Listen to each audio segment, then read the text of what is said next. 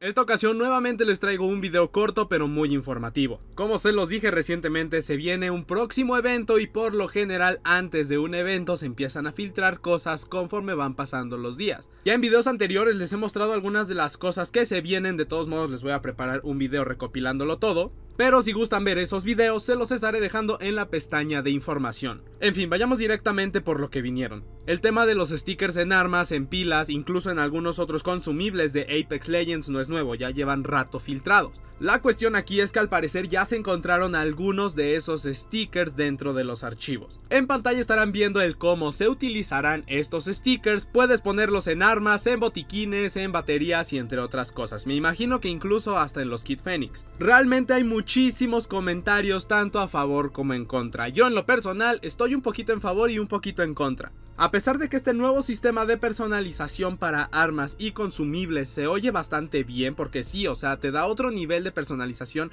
ya no solo es la skin que le pongas a las armas, sino un poquito más del toque personal que cada usuario le quiera dar a cada una de ellas. Esto es el lado bueno. El lado malo es que cuando abras un Apex Pack te vas a llevar una gran decepción, incluso te podrías sentir estafado al salirte puros stickers. Cabe mencionar que sí hay de diferentes categorías, desde raro, épico y legendario.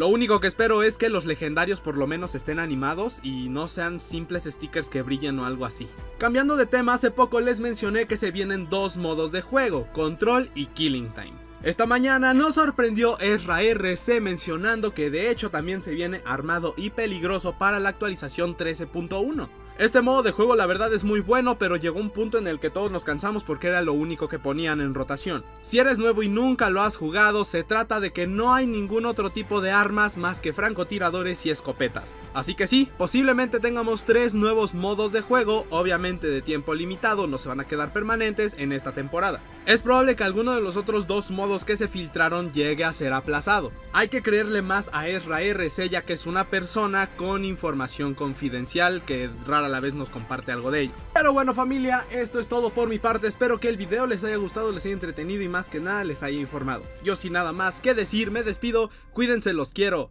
y hasta la próxima.